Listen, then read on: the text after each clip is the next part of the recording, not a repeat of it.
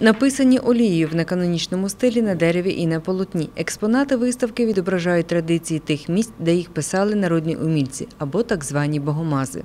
В колекції можна знайти дуже щирі ікони, знаєте, такі е, абсолютно ем, е, наївні, знаєте, от те, що називається народним наївом.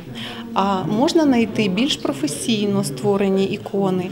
Але що ж їх відрізняє від звичайних так е, створених професіоналами ікон? Перш за все, це їх наділяли рисами е, свого етносу.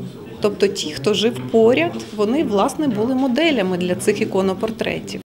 Це одна із небагатьох колекцій народної ікони в Україні. Їй 19 років. Дотепер подоляни бачили її лише один раз, коли було створено товариство Григорія Сковороди. Далі колекція мандрувала містами України, а зараз повернулася до рідного міста. Коли пройдеш в етнографічну експедицію по Донеччині, по Кам'янеччині, про тих селах, ну, відчуття якісь гени, напевно.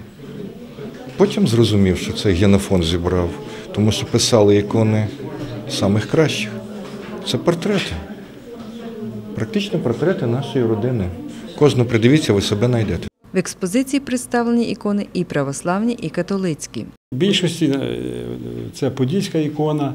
Ось ви бачите, вона зроблена, виконана дещо, можливо, не в канонічних моменті. Є от українські сорочки, наприклад, да, то що не канонічно, ну, хатня ікона ще називають. Характерною особливостю ці- цих е, речей, цих експонатів є те, що вони намолені. Ось, вони дієві. От якщо ви побудете трошки, то ви це відчуєте. Можливо, вони не так, е, так створені, скажімо, не в каноні, але вони дієві, тому що на них наші подоляни довгі роки, сім'ї молилися. Знавці розповідають, народну ікону у церквах не виставляли, а тому знайти її можна було лише у домівках у людей.